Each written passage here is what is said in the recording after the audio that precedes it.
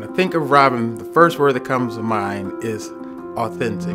You know, you can tell with her, she actually likes what she's doing. You know, she's actually, she's genuine. You can tell that it was, it's coming from the heart. She has never thought herself to be above uh, anyone else. And I think by being humble and having that level of humility, it allows her to engage anybody from a corporate CEO to the janitor to the guy cutting hair to an executive to a doctor.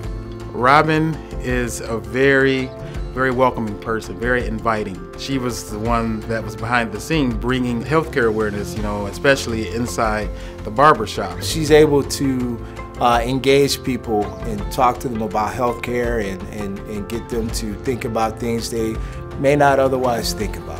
Well, the barbershop program has been one of the most rewarding experiences I have, and that is simply because we all have a common goal, and it really eliminates all the differences that sometimes we think we have. The things that we care about, like our health, the health of our families, what it means to live in this part of the country, what we need to do together to make it better. She's out there every day um, trying to, to, to make a difference, make an impact, move the needle.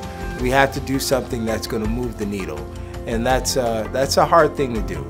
So that's what I would like people to know about Robin. This has been I mean, really a great joy to be able to do. And to be encouraged by ProMedica to continue this work, that means a lot too.